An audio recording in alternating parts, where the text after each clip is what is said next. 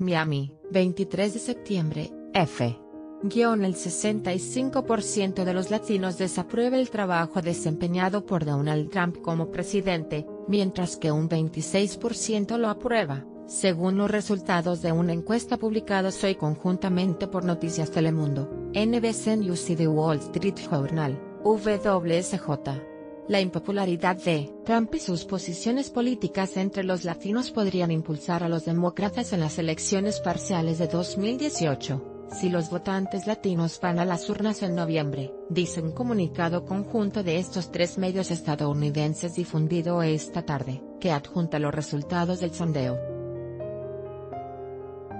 Los resultados de la encuesta, que fue realizada, tanto en inglés como en español, entre el 16 y el 18 de este mes a 300 latinos registrados para votar y con un margen de error, de más barra 5.66% llegan poco más de un mes antes de las elecciones del 6 de noviembre, o de medio término, como también se le conoce al ciclo electoral legislativo y para gobernadores estatales.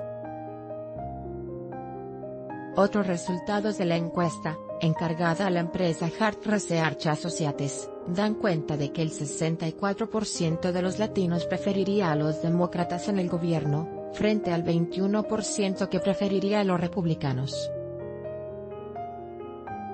también que el 63% de los latinos tiene menos probabilidades de votar por un candidato a favor de construir un muro en la frontera, con México, en comparación con el 55% del total de votantes.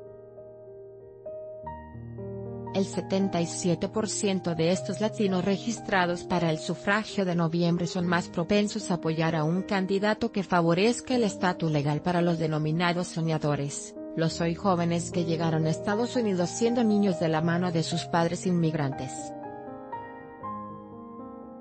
Según indicó a F. Camilo Pino, portavoz de Noticias Telemundo, se han realizado varias encuestas similares durante ciclos electorales anteriores, pero esta es la primera que hacen este año.